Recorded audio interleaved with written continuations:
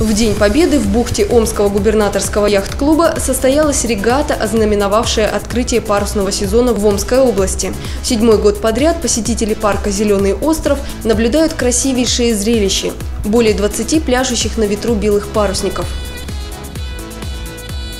40 юных воспитанников Омского яхт-клуба впервые в этом году вышли на старт парусных соревнований.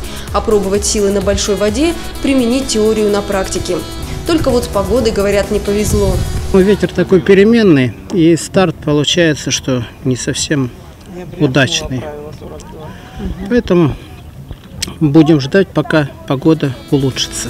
Омская парусная школа считается старейшей и лучшей в Сибири. В прошлом году она отметила свой столетний юбилей. За всю историю немало достижений было совершено спортсменами при Иртышье. В 80-м году Александр Музыченко стал олимпийским чемпионом по парусному спорту, а в 2000-м экипаж легендарной яхты «Сибирь» совершил кругосветное путешествие. Оно-то и положило начало Омскому губернаторскому яхт-клубу. Так, 10 лет назад парусная школа впервые получила государственную поддержку. К десятилетию к своему клуб пришел с хорошими результатами. У нас около 150 ребятишек занимается именно юных спортсменов. То есть вот сейчас 4 тренера.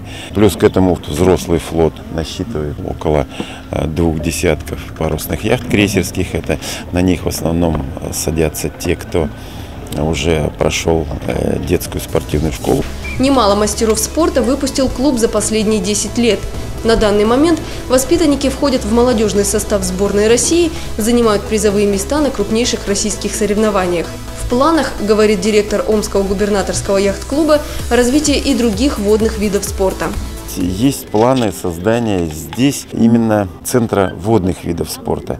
То есть кроме парусного спорта, э, здесь, на Зеленом острове, мы э, хотим развивать водно-моторный спорт, греблю, парусный туризм. То есть это те виды спорта, которые испытывают необходимость вот в создании современной марины.